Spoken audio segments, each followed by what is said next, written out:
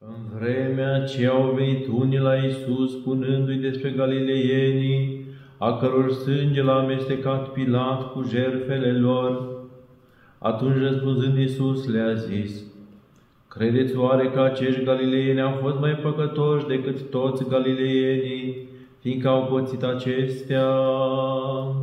Nu, vă spun vouă, că de nu vă veți pocăi, toți veți pieri la fel. Sau acei 18 inși peste care s-a surpat turnul în Siloam și i-au omorât, gândiți oare că ei au fost mai păcătoși decât toți oamenii care locuiau în Ierusalim?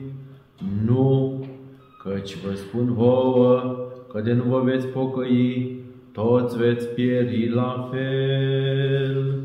Apoi le-a spus această pildă, un om avea un smochin sădit în via lui și a venit să caute rod în el, dar n-a găsit. Și a zis către fier, iată trei ani sunt de când vin să caut rod în smochinul acesta, dar nu găsesc. Tai el pentru ce să cuprindă locul în zadar, dar vierul răspunzând lui a zis, Stăpâne, lasă-l și în anul acesta, până când voi săpa împrejur și voi pune gunoi, poate va face roadă, iar de nu va face, atunci îl vei tăia. În anul care vine. În numele Tatălui și al Fiului și al Sfântului Duh, zisa Domnul a tot știitorul, Căci vă spun vouă, de nu vă veți pocăi, toți veți pieri la fel. Și dă un exemplu Domnul nostru Iisus Hristos de oameni care au căzut sub sabia lui Pilat, amestecându-le sângele cu jertfele lor, de oameni care au suferit accident pentru că a căzut peste ei turnul din Siloam, oameni care au murit, dar nu au murit doar pentru că nu s-au pocăit ei, și dacă nu vă veți pocăi voi toți care ați văzut aceste semne, toți veți pieri la fel.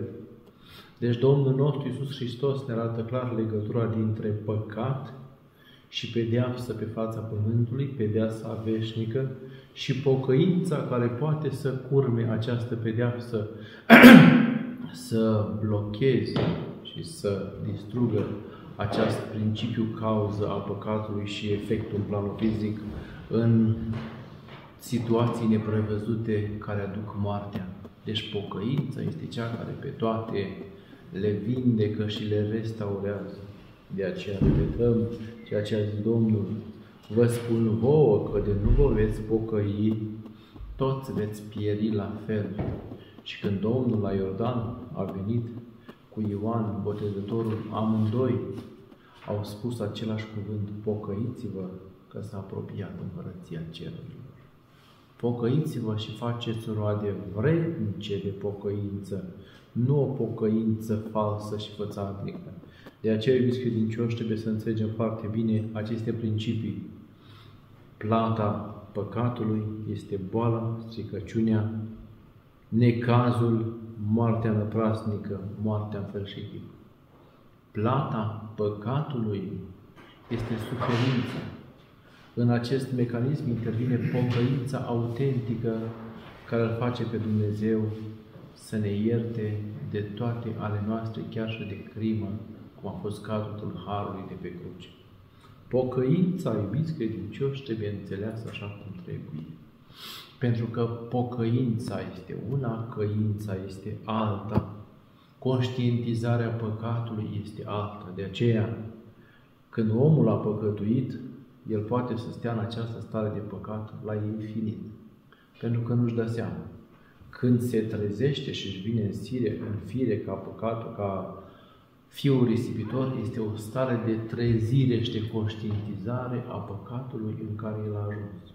Adică a căzut din lumină, s-a dus în întuneric, a căzut din casa Tatălui, s-a dus într-un ținut străin, a căzut din starea de har și s-a dus într-o stare de lipsă de har, de cădere de har, a căzut din adevăr, s-a dus în minciună, a căzut din cele bune, s-a dus în cele rele, a căzut din tot ce era după Dumnezeu și s-a dus după dracu. Dar, iubiți credincioși, acesta este păcatul.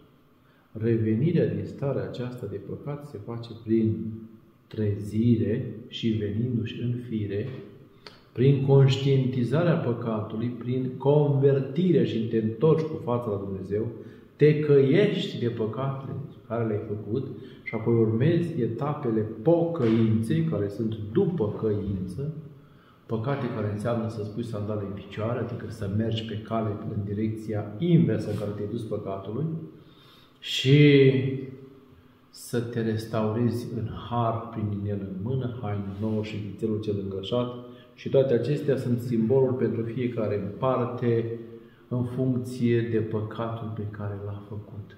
Dar, iubiți credincioși, foarte grea este această etapă, acest moment de venire în sine, de trezire. Omul stă ani de zile în păcat și crede că este bine, nu are nevoie nici de căință, nu are nevoie nici de pocăință, nu are nevoie nici de întoarcere cu lacrimi către Dumnezeu, nici de revenire. El zice că e bine, că are dreptate și fiecare în păcatul lui, e ca și cum ar avea așa un balon umflat în capul lui, e un univers pe care îl vede numai el și spune, ăsta este adevărul, e, asta este realitatea, ăsta este binele, așa trebuie să trăiesc eu și pe toți cei de după el vrea să-i tragă în balonul minții lui.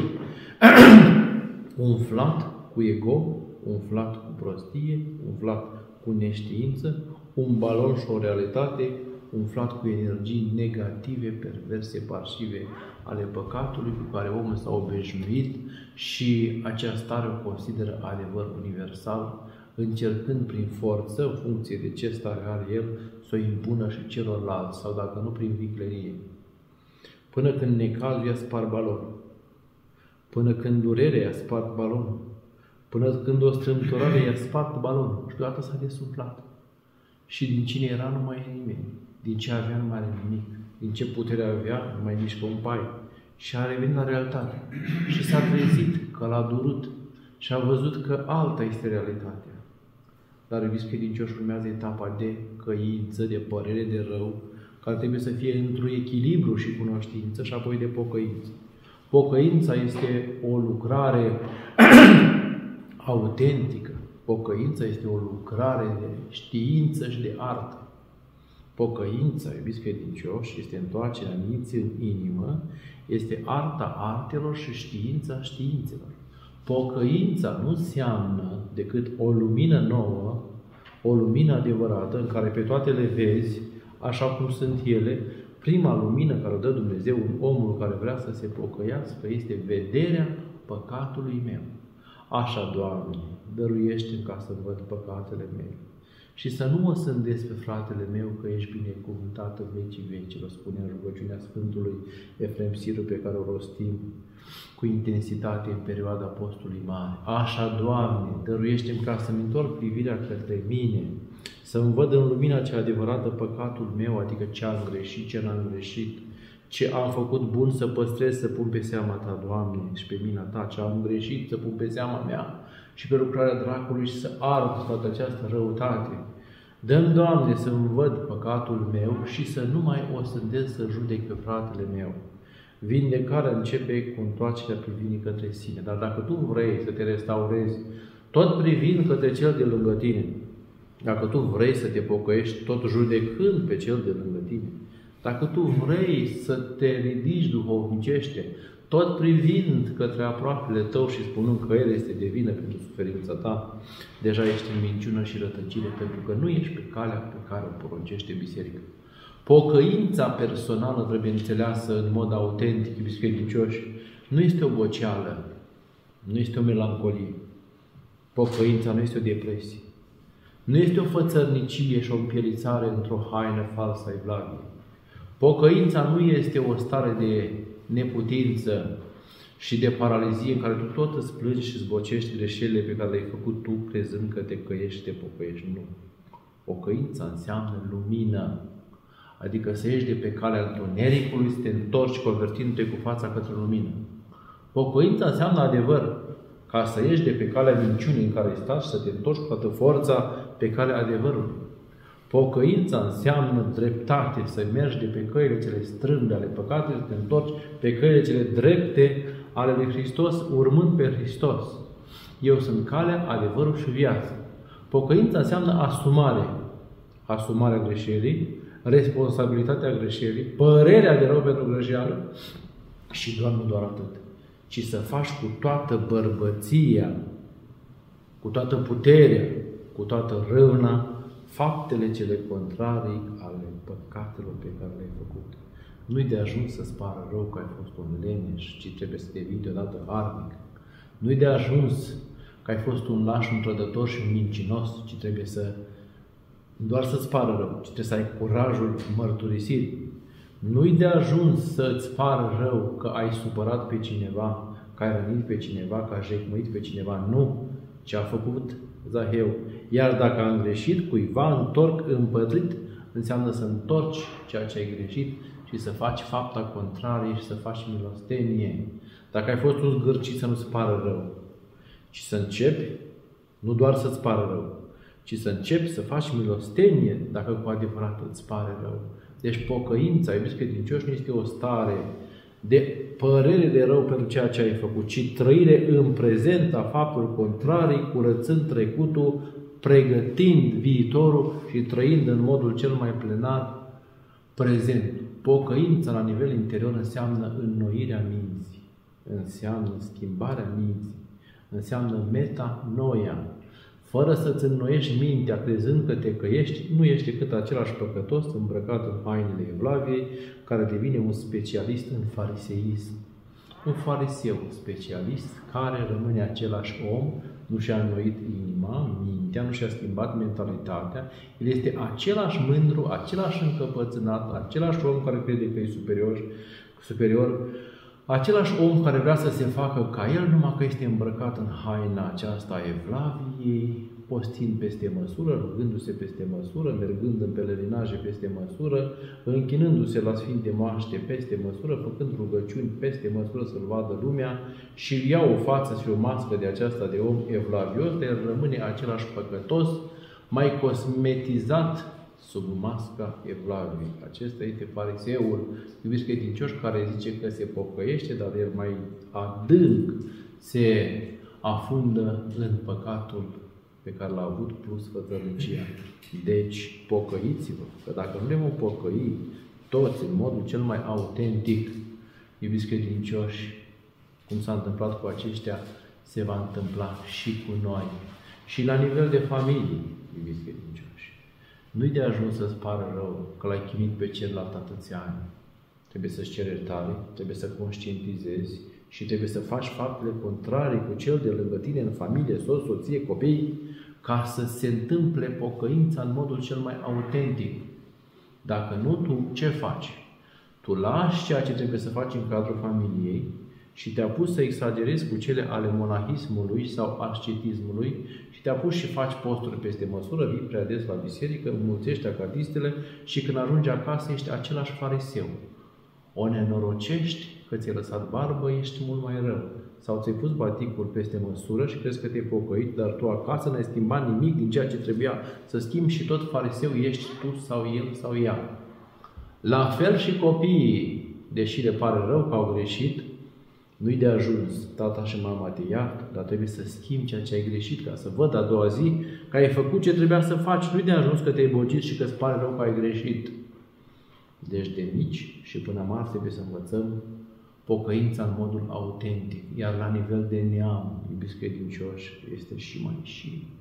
Tot ne plângem că ni s-a luat, că nu mai avem, că ce am pățit, dar noi toți mințim, toți furăm, toți suntem leneși, toți suntem fățarnici, toți suntem cum nu trebuie, toți nu avem hărnicia și lupta și râvna care trebuie, de la mare și până la mic, și un neam de genul acesta nu are cum să prospere. Dovada este că dacă nu ne căim ca neam, înseamnă că nu-i tot neamul în biserică. Dacă nu ne pocăim ca neam, nu suntem tot neamul în liturghie. Dacă nu vrem să scăpăm de răutatea ca neam pe care avem noi, nu venim în fața Sfântului Potir, unde se spală păcatele noastre. Nu-i de ajuns doar spovedanie. Deci trebuie să înțelegem, iubiți credincioși, pentru omul care vrea să se pocăiască. Este o greșeală, El se duce la spovedanie și plânge ce probleme a avut el în viața lui. Duce la spovedanie și umple capul duhovnicului cu probleme sociale. Dar el nu-și vede păcatul. El nu spune că e mândru. Nu spune că e încăpățânat. Nu spune că este insensibil. Nu spune că e neascultător. Nu-i spune duhovnicului că el nu vrea să schimbe viața, ci rămâne același egoist, mincinos și parșiv, care îmbracă spovedania în forme de tânguire socială pentru problemele și necazurile lui, dar el nu curăță acolo mândria și egoismul din el, nu face pași pe cale evlaviei, nu face ascultare și orice face el, face un iz de mândrie și de afirmare de sine și dacă vine în biserică din mândrie nu se împărtășește, spunându-se că este nevrednic și asta nu este pocăință, și dacă vine și se împărtășește, se împărtășește din obișnuință, din neștiință, din inconștiență sau din slavă de șartă și mândrie și se osândește. Ci trebuie să vii într-o pocăință autentică, cu conștientizarea păcatului, cu lupta, cu virtutea pe care o faci contrarie păcatul, cu înaintare prin rugăciune și smerenie și apropiere cu umilință de Sfântul Potir continuu. Un neam care se pocăiește este un neam care trebuie să se apropie continuu de Sfânta Împărtășanie ca să se spele păcatele neamului. Iar dacă nu vă veți pocăi, toți veți păți la fel. Am vorbit despre omul de rând, despre familist, despre neam, dar ce facem, iubiți credincioși, că e vorba de o pocăință a celor care sunt responsabili, nu în planul material, ci în planul spiritual. Ați greșit la Sinodul Tâlhăresc din Creta. Dacă nu vă veți pocăi, veți fi pedepsiți. Ați, ați greșit și ați trădat pentru că ați semnat într-un Sinod Tâlhăresc organizat de noua ordine mondială și acolo a strădat dogma despre biserică, considerându-le biserici și pe celelalte schisme și erezii, a strădat dogma despre botez, despre taine, într-un mod voalat și dacă nu vă veți căi și nu vă veți pocăi și nu veți, veți mărturisi, o să vedeți cum o să cadă turnuri peste voi. O să vedeți cum o să vi se prăvălească necazuri peste voi arhierei ai bisericii și a strădat și trădați în continuare, de la momentul în care l-ați primit pe Papa, că arhiereu este o trădare. Dacă nu vă veți căi și nu vă veți pocăi, toți veți suferi până la moartea voastră atâta necaz și supărare din iubirea dumnezeiască, ca să vă treziți. Și iar dacă nu, o să muriți în păcatele voastre, dar n-are nimeni ce să vă mai facă. Toate păcatele se vor ierta, dar păcatele împotriva Duhului Sfânt vor fi iertate în viață. Toate păcatele se vor ierta. Păcătoșii erau primiți la Euharistie. Păcătoșii erau primiți la împărtășanie. Păcătoșii erau primiți să se spele în sângele Domnului. Și tâlhar și desfrânate și vameși. Dar ereticii nu. Aceștia erau păcătoși care nu erau primiți la Euharistie, la Sfânta Împărtășanie. Dacă nu vă veți căi și nu vă veți pocăi, veți suferi boli, veți suferi necazuri, veți cădea de pe tronurile voastre de ceară, vor fi săpate gropi unde veți fi aruncați chiar voi. Dar iubiți credincioși, trădarea continuă.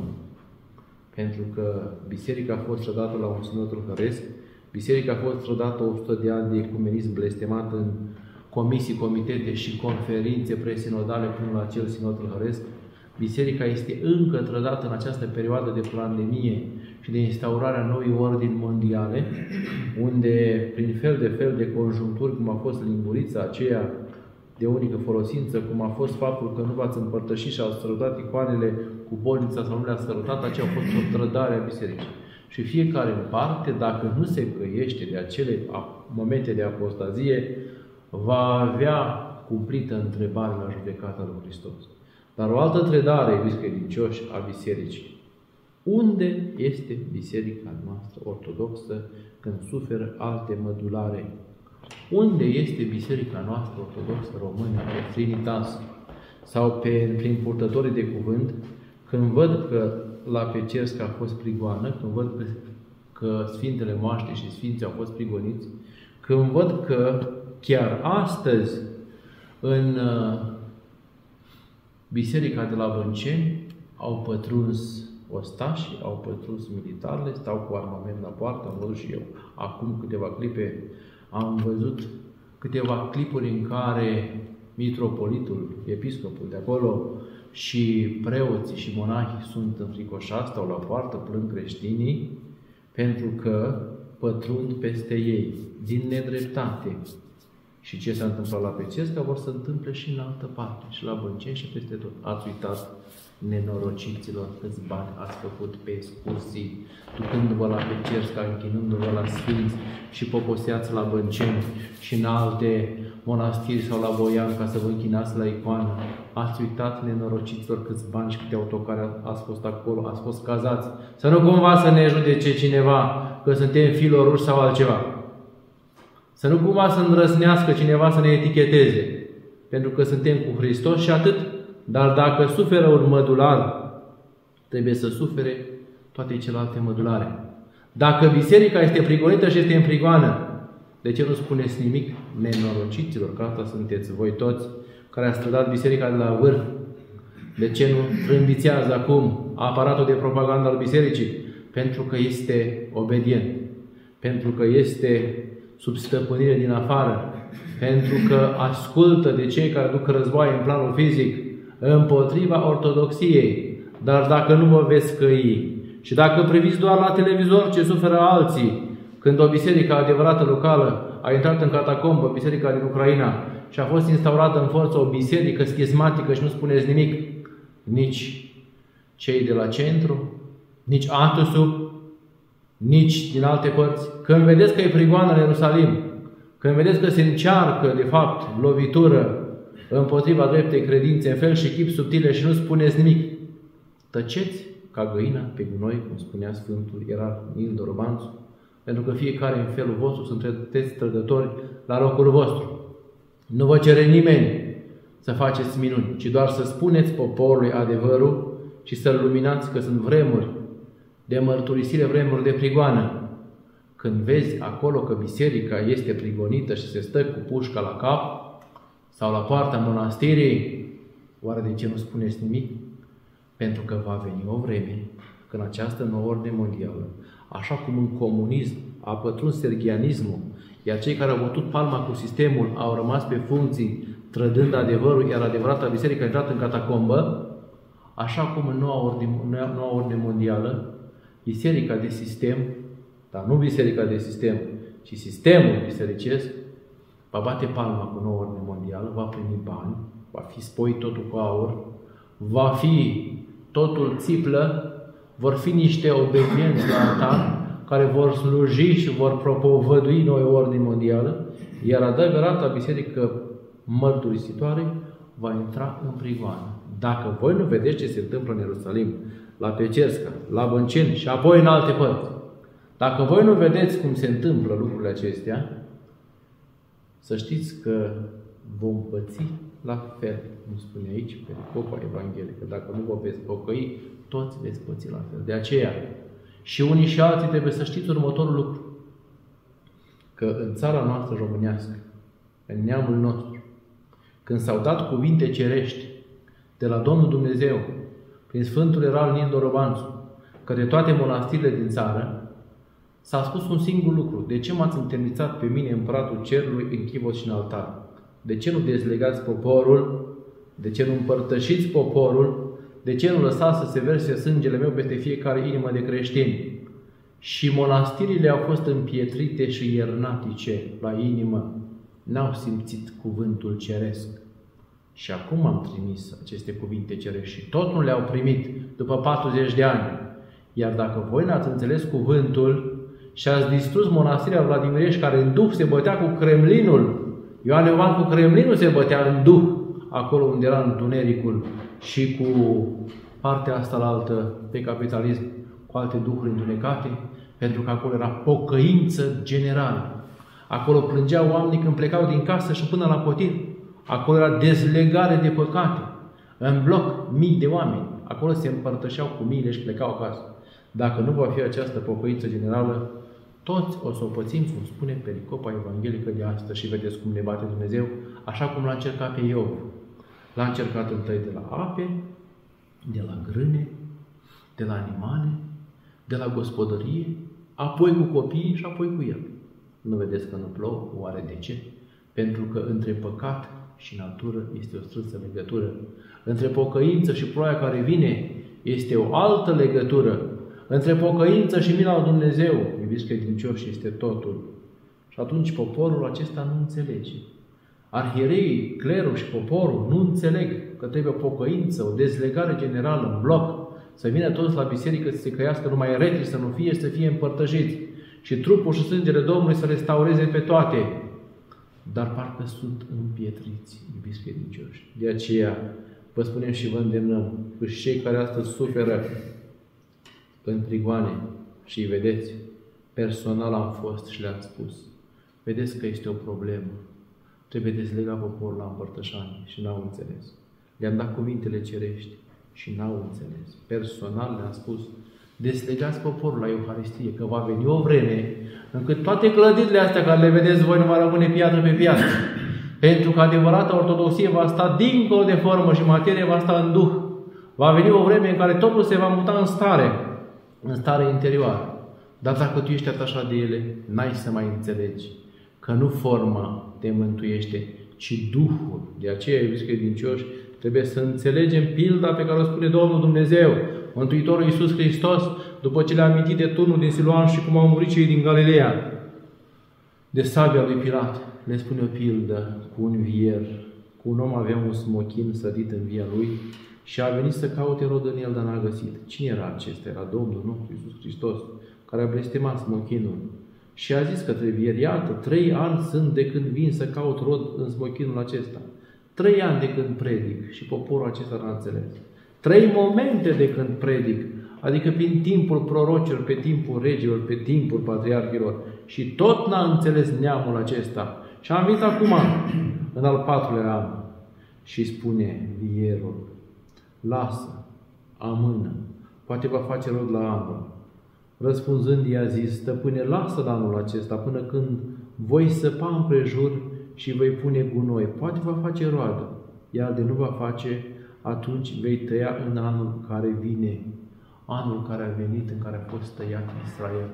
A fost anul în care singuri s-au tăiat și au spus, sângele dreptului acestuia asupra noastră și asupra copiilor, copiilor noștri și s-au, și-au tăiat craca de sub picioare singuri și s-au dezrădăcinat și blestemul peste ei a căzut. De aceea, iubiți credincioși, trebuie să înțelegem esența din tot ceea ce am spus.